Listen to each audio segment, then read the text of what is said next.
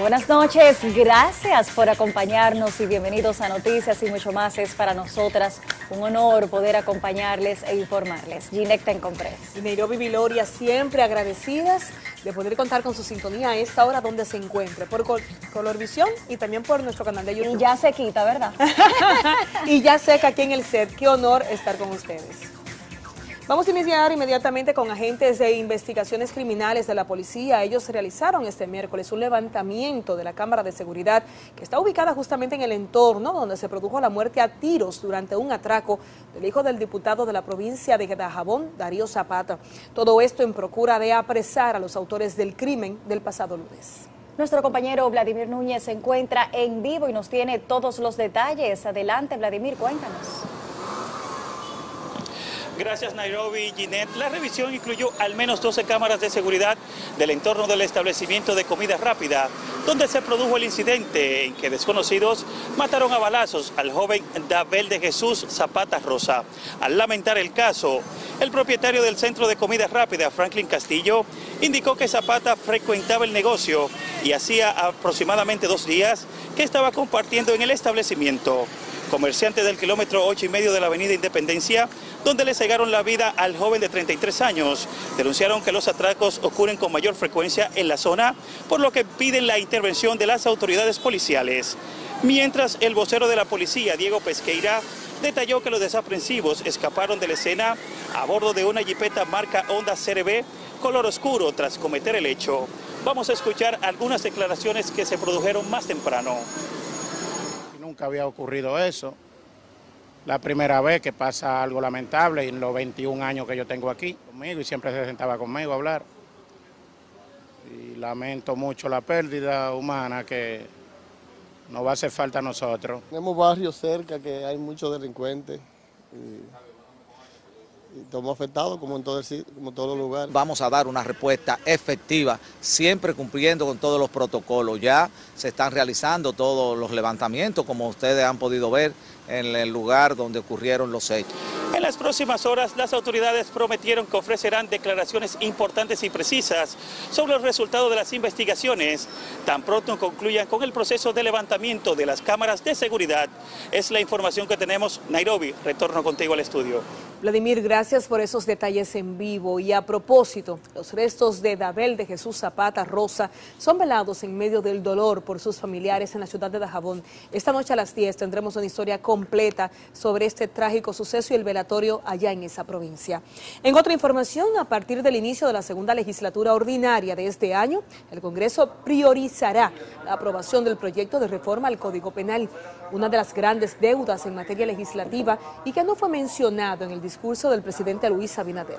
Mientras los congresistas se preparan para comenzar a estudiar la pieza, otra vez, al conmemorarse este miércoles el décimo aniversario del fallecimiento del joven, de la joven Isaura Almonte, conocida como Esperancita, quien murió luego de que se le negara una quimioterapia cuando estaba embarazada.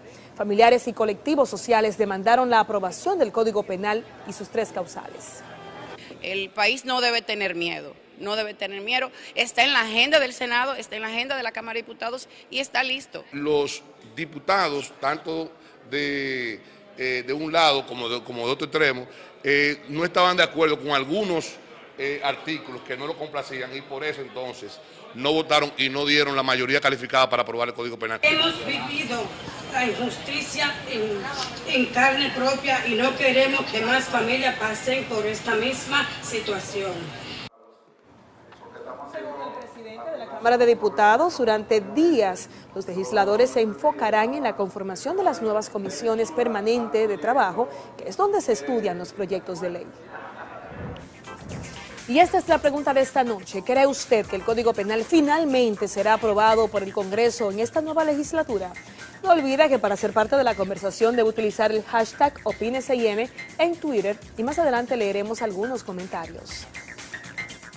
Al defender las obras construidas durante sus periodos presidenciales y catalogar de manipulación grosera que el gobierno compare obras en funcionamiento con promesas, el expresidente Leonel Fernández restó méritos al discurso del presidente Abinader y lo calificó como repetitivo. En tanto, Dirigentes políticos de otros partidos criticaron el nivel de endeudamiento del gobierno a dos años de iniciada su gestión. Hay un metro que funciona, hay otro que está en la cabeza del presidente. Entonces no podemos comparar algo que existe, que además es utilizado por 110 millones de dominicanos cada año, 10 veces la población dominicana. Eso lo hicimos nosotros, no es la obra del PRM. Esta noche en nuestra emisión estelar de las 10 con Alicia Ortega tendremos los detalles ampliados sobre las reacciones de los partidos de oposición al discurso del presidente Abinader de este martes. Mientras el presidente del Colegio Médico Dominicano dijo que la locución del gobernante no llenó las expectativas del sector salud tras afirmar que la inversión ha sido mínima en esta área a nivel nacional. De su lado, Waldo Ariel Suero, expresidente de este gremio, indicó que el tema de la mortalidad infantil y la forma debe enfrentarla, pues, y la forma de enfrentar este tema debe ser estudiada a fondo. Y no se pierda este jueves un TVT del informe.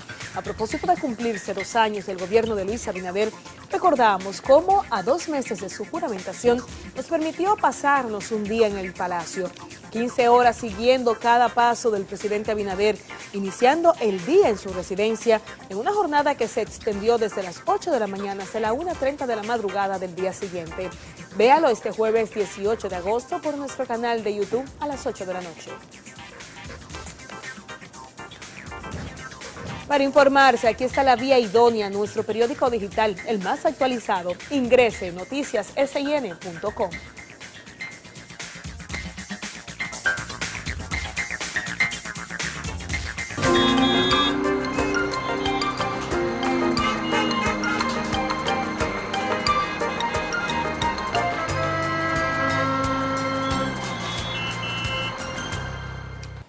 Durante el día hubo muchos tapones, yo fui testigo, pero ¿cómo está el tránsito a esta hora de la noche? El capitán Urtecho nos actualiza. Buenas noches, capitán, cuéntenos.